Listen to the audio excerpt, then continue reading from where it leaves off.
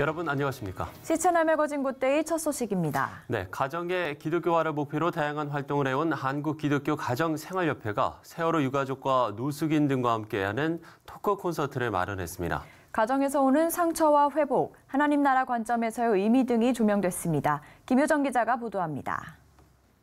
지난 2014년 일어난 세월호 참사를 통해 자녀를 잃은 박은희 전도사. 가족과 친지들조차도 유가족들의 처지를 이해해주지 못한 경우가 많았다고 말했습니다. 단지 자녀가 왜 죽었는지 알고 싶었을 뿐이었는데 의도를 오해하거나 심지어 받은 보상금을 빌려달라는 경우도 있었다는 것.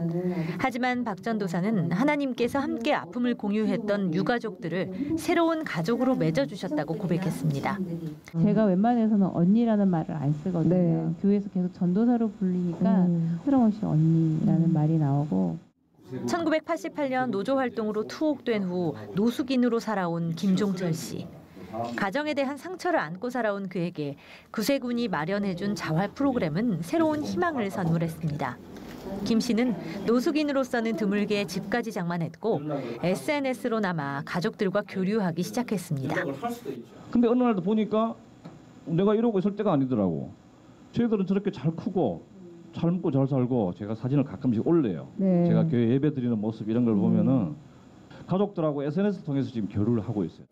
콘서트를 마련한 가정생활협회는 가정은 가장 중요한 공동체이면서도 많은 상처를 받을 수 있는 공간이라며 가정을 통해 새로운 힘을 공급받길 바란다고 말했습니다.